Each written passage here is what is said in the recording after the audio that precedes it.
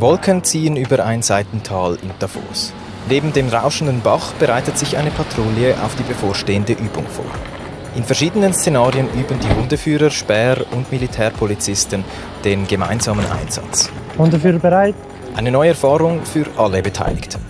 Es ist natürlich ein, ein Kennenlernen auf allen Seiten, ein Verstehen von den einzelnen Drill und Prozess, wo jeder anders in der RSK hat.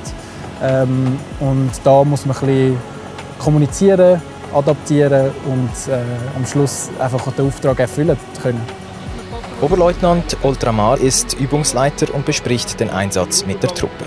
Ihr Auftrag für heute? Objektschutz. Im ersten Szenario trifft die Patrouille auf eine kooperative Person. Höflich aber bestimmt verweist die Wache die Person vom Platz. Am Anfang ist es einfach darum gegangen, den 99%-Fall abzudecken. Und der ist einfach überwachen, ohne dass irgendetwas passiert. Wieder kommt ein Funkspruch. Weiter hinten im Tal haben die Späher eine verdächtige Person ausgemacht. Jetzt, ist das Problem? Nach einem längeren Wortwechsel eskaliert die Situation. Halt, bleiben Sie! Sofort stehen bleiben, der steckt dran!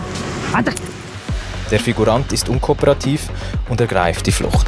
Am Boden!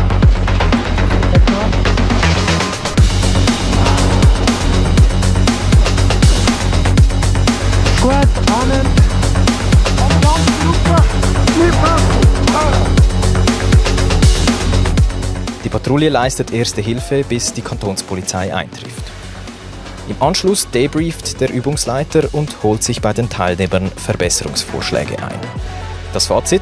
Es gibt keine Musterlösung für alle möglichen Szenarien, aber das oberste Gebot ist die Verhältnismäßigkeit.